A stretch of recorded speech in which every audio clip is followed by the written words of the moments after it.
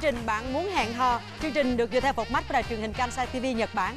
Mỗi uh, chương trình là chúng ta lại nôn nao để xem cặp đôi họ có đồng ý hẹn hò không nếu như họ không hẹn hò thì mình cũng thấy nó sao sao á à. nói chung là lo lắm quý vị thành ra là ông mai bà mối bao giờ cũng trong lòng nó cứ khắc khoải làm sao thôi nói nói chứ mình làm mai được mình đã mừng được còn chuyện kia tính sao ha Đúng rồi, nhiệm vụ của mình là Sao? miễn nhấn nút là thành công. Hả Mang? Hả Mang?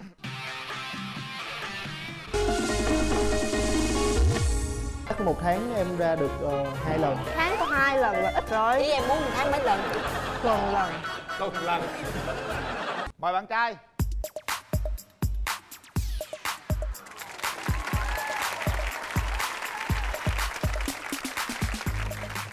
Chào bạn. Bạn Dạ. tên gì giới thiệu luôn? Em tên là Bùi Hòa Bình. Ờ, Năm nay là em ờ, vừa mới bước qua tuổi băm rồi. Em làm về ờ, kinh doanh. Dạ. Rồi, mời bạn nữ của chúng ta bước ra sân khấu.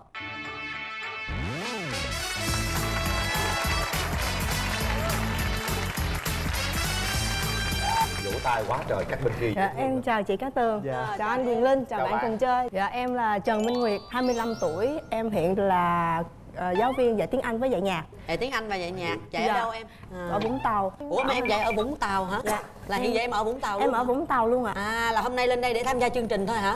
dạ đúng rồi À, ủa anh kia quê ở đâu? Nãy nghe chưa rõ. dạ dạ em sống ở Sài Gòn chị ơi thành ra là đi cũng gần nhưng nếu giờ ba quen bạn gái ở vũng tàu thì ờ, tháng ra mấy lần Chắc một tháng em ra được ờ, hai lần đúng Tháng rồi hai lần thì em thấy hơi ít chị tháng có hai lần là ít Ý rồi em muốn một tháng mấy lần? tuần lần tuần lần Được không? Tuần lần là coi như tháng 4 lần. Dạ thí dụ như mà một tháng hai lần mà một lần hai ngày được không chị Cái người chơi thấy ừ, sẽ tiếc chút sức khỏe rồi không? Dạ. Tiếc chút công sức. không có dạ. Thấy không đúng được đúng rồi. Không có nhiệt tình lắm. Đúng đúng rồi. mình nhiệt tình quá mà. Mới quen thì chơi không nhiệt tình rồi. Ta bận công việc bên đây á, là làm giám đốc phát triển thị trường đúng không? Dạ vâng em ờ, hiện đang làm về thang máy bạn ờ, làm nghề thang máy bạn ờ, làm giám đốc phát triển thị trường bạn đi suốt như vậy Dạ. đúng là không có thời gian quen bạn gái rồi Dạ không lẽ mình không có chừa một cái khoảng không gian nào cho bạn gái hay sao Ra từ sau khi cái mối tình cũ á Ừ. em cũng cũng buồn nhiều với lại ờ, em cũng có một cái ờ, hy vọng là cô ấy quay lại Hả?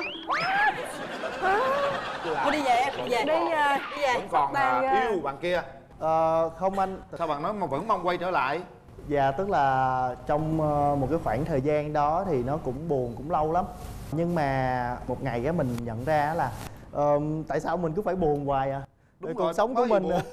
cuộc sống của mình có 60 năm trời à hả Thôi đừng có nói chuyện cũ buồn nữa bên đây ta muốn đi về rồi đấy nè. không không không không, không.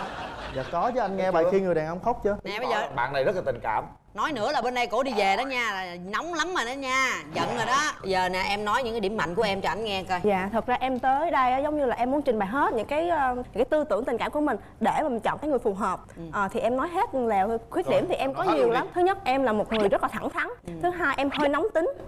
Em nghĩ là khuyết điểm cũng hơi bự đó chị. Hơi ờ, nguyên tắc. Có nghĩa là một vài lần gặp em thì em sẽ rất là nguyên tắc và khó gần nhưng mà thân rồi thì cũng vui lắm không có gì đâu à, với lại à, hơi có cảm xúc mạnh á có nghĩa là mình nói cái gì mình làm cái gì mình cũng phải dùng hết và mình nói mình làm ngay lúc đó đó Nghĩa là con người mình à, có tư chất nghệ sĩ. Đúng rồi đó chị. Cho nên là mình làm việc theo cảm xúc. Hay là bây giờ là giống thích nhau. đó, mà nói vài câu quê là họ thích hết thích. có có nghĩa là cảm xúc hơi tuột rồi đó Nãy giờ là tuột tới đây là tuột Bây giờ rồi mình để bởi chị biết em tuột mà chị đang đáng bơm em lên. bạn nói gì cho nó hết tuột ơi nói gì cho nó hết tuột ơi À, em em hơi hơi lạ đó là ờ, em học luật em tốt nghiệp ờ, đại học luật em ờ, có một thời gian qua úc học một năm rồi. Em về đây hồi đầu năm em cũng đi làm rồi nhưng mà bức bách quá. Thế là em bây giờ chỉ có đi dạy tiếng anh và đi dạy nhạc thôi. Nhưng mà bên cạnh đó em cũng có một số ưu điểm như sau. Đó là em thích chăm sóc nhà cửa. Em rất thích nấu ăn. Ước mơ lớn nhất của cả đời em là có một cái khu vườn nhỏ của mình. Đại khái là à, phát triển mô hình vườn rau sạch.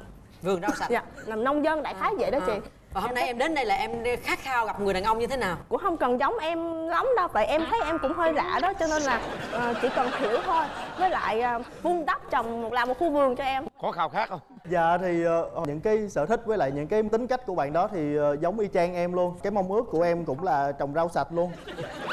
Thật ra mình sống trong môi trường này mình thấy nó ô nhiễm quá. Ờ, Mai này nếu mà em có tiền á là em ờ, lên núi em sống Hoặc là em về miền mình biển gì đó em sống và em sẽ ờ, trồng rau, nuôi cá, nuôi bò vậy đó. Cũng cùng sở thích ha. Dạ. Khuyết điểm gì ưu điểm gì nói cho bạn kia biết luôn. Nhanh đi để Ờ. bạn tụt cảm xúc á. ưu điểm là em ờ, em rất là vui tính em hài hước và em ờ, nói chuyện thì nó dễ gần. Dễ gần nó mới lên câu đầu tiên là thấy là dễ quê rồi chứ dễ gần. Dạ tại vì em em muốn chia sẻ cái cái thật của em nó đang ờ, là như vậy. Ờ, tức là trong quá khứ thì Thôi bỏ bỏ bỏ khoảng quá khứ đi bỏ. Mình phải sống tới cái vườn rau sạch phía trước. Dạ thì cái yếu điểm của em á thứ nhất á là ờ, em ngủ ngáy. Và cái này là tuột nữa tuột nữa. Sao tôi nói hết khuyết điểm mà nói đi dạ. Em và cái thứ hai là em có một cái mùi ờ, mùi hôi cơ thể. Dạ thành ra có đâu là đâu có gì đâu. ngoài những cái phần đó thì ờ, nhưng mà bù lại cái chuyện mà mùi hôi á thì em hay tắm lắm. Thành ra một ngày em tắm ờ, cũng hai lần. Tôi không hôi mà ngày tôi còn tắm năm lần. Dạ. Ờ, và và dạ chị ngửi thấy mùi gì không chị? Nó thiệt luôn hả? Dạ đúng rồi chị. Mùi cơ thể tắm. phải mùi hôi dạ. Cái đó người ta giấu đi ai đâu mà lên mà phủ ầm ầm vô người ta vậy người ta một cái người nghệ sĩ mong manh ngồi bên kia kìa. Lên nhưng mà quất nãy giờ người ta tụt cảm xúc tụt tới dưới tôi mới có lâu lên được như đây ông đập xuống nữa. Dạ. Rồi muốn đi kiếm vợ không? Ờ, dạ muốn chị. Cô này dễ thương lắm á nha nói quá một hồi là hối hận á. Cao thấp Dạ. sao ngoại hình sao Ờ, dạ em thì ờ, nếu mà từ 1 m năm đến 1 m chín đó là phù hợp với em gì hết rộng dữ vậy? Dạ. Khoảng cách xa vậy? Dạ tại vì nếu mà thí dụ mà 1 m năm á khi mà hung á thì em ôm lên. Còn nếu mà 1 m chín thì em đứng nhón chân cũng được. Được. Dạ. Được ấn tượng rồi đó. Dạ. Chị hả? thật ra em đăng ký thì em nói là em thích người có mùi cơ thể á. Có không? Dạ nhưng mà anh này anh nói là mùi hôi cho nên là em phản ứng vậy thôi.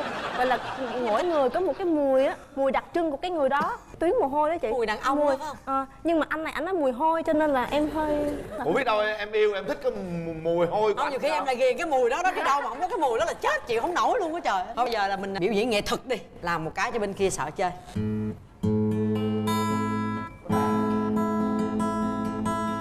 Anh ơi đàn đó là cô đó đàn hay là có người đệm đàn? Cô nó đàn chứ các tường làm gì biết đàn. Dạ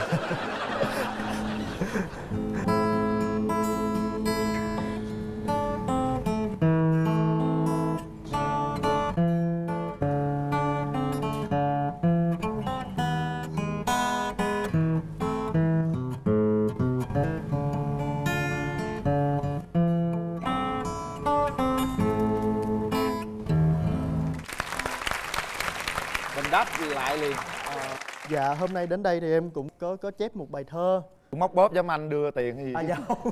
Ở bài thơ này nó chưa có tên. Dạ. Có phải anh khờ lắm phải không? 30 tuổi đến vẫn nằm không? Sáng trưa chiều tối công với việc đi về nhà cửa cứ lạnh không? Lỡ có yêu anh em đừng sợ. Tim anh nóng rực cả mùa đông. Nếu buồn gọi anh em biết không? Có người chia sẻ tỏ nỗi lòng. 30 tuổi đến tình chưa có, đã có chương trình chắc thành công. thiếu câu nữa yêu yêu anh em có sợ không Dạ. mùi hôi thoang thoảng đâu đây đó Dạ. phải thêm câu nữa thì mới thật đúng không giờ á, vấn đề chỗ là giờ hôm nay em có được người thân gì đi theo không Có anh hôm nay em có mời mẹ của em theo. có mẹ hả Dạ dạ. Rồi, mẹ đó. mẹ nói chào cô ạ Xin chào anh Quyền Linh. dạ cô, cô nhìn thấy ờ, đối phương bên kia sao cô À, theo như mình thấy thì à, cô bé rất là xinh xắn, nói chuyện cũng dễ thương, à, rất là thích. Còn cảm ơn bác. Có đi với người thân không em? Dạ em có đi với bạn thân của em. Em chào chị Cát Tường ạ, em chào anh Quế Linh. cảm xúc của bạn nãy giờ dành cho cái anh bên kia đó em nhận xét ảnh sao? À, có lẽ là cảm xúc của em cũng như cảm xúc của người ta cũng lên lên xuống xuống. Nhưng mà em hy vọng là anh sẽ không nóng tính bởi vì Nguyệt nó đã rất là nóng tính rồi. Khi mà nó nóng tính một cái là em em sợ luôn. Nóng có khi nào nguyệt đánh ai không em? Dạ đánh thì không có đánh. Chứ mà nóng mà làm gì nóng thì ờ, lừ lừ mắt rồi đập bàn cái đầm cái. Em về chi em cho đau tay, không cho nữa. nè Dạ. Thôi, bây giờ mình à, để anh xem thử bên đây. Nãy giờ khen đẹp lắm à chào bạn rồi dễ thương quá. Nhưng mà sao nóng tính vậy ta? Thì có nghĩa là em thể hiện cảm xúc nó nó trong sao nó vậy á. Có nghĩa là nói cái gì em cũng dồn cảm xúc vô hết thì nó như vậy thôi giống anh á sáng anh y chang vậy đó có gì bằng xử theo luật pháp là chứ không có gì đâu sợ rồi kéo màn lên. Nhìn thẳng vô mắt bạn ấy nha.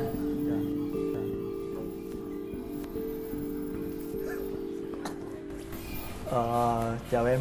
dạ chào anh. Em cười.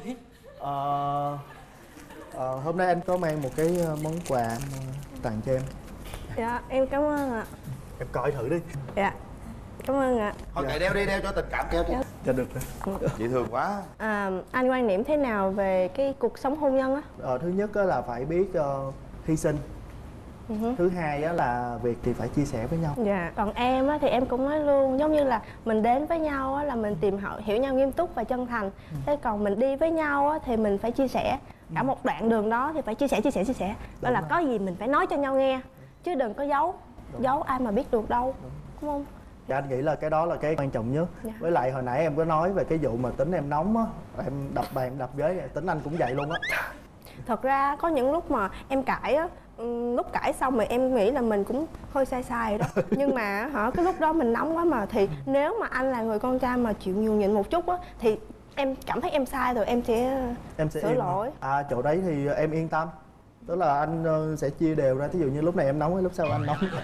Dạ cũng được như như chia đều nó nghe nó nghe. Dạ dạ vâng. À, dạ. đứng ờ, nói chuyện nghe chút đi. Dạ. Hả? đứng ờ, sao bạn? Thấy đẹp trai không? Dạ. không để tôi đứng xa đấy nhầm của tôi à? Dạ. Đứng sát sát bên chút xíu nữa coi. Dạ. Không ờ, ok không Ok. tới nổi không nổi thôi thôi ngồi được rồi đó. Thôi bỏ cái vụ đầu đó Dạ. bỏ, bỏ hết giờ rồi bấm nút đó suy nghĩ thật kỹ nha. Quyết định nha đo cảm xúc của mình đi. Lúc lên lúc xuống. Cân chia đông đếm coi cái lên nhiều hay cái xuống nhiều. Một. Hai.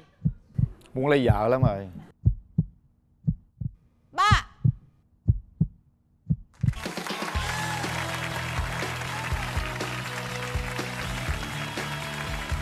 làm gì bấm nhanh dữ vậy? Nôn quá hả? Em sợ cái nút nó không ăn. Dễ thương đó bạn trai rất là dễ thương rất có duyên nói chơi về thôi chứ không có gì đâu. Không có thấy hôi gì đâu sợ hy vọng mọi người thì tiến xa hơn. Dạ. Mới đi xem phim ha. Dạ. rồi hỏi kỹ nhau nữa. Dạ. Tặng hai bạn à, nước xịt thơm miệng thảo dược Dạ relax. Vâng. nào thứ hai nắm tay nhau. Cảm nhận về nhau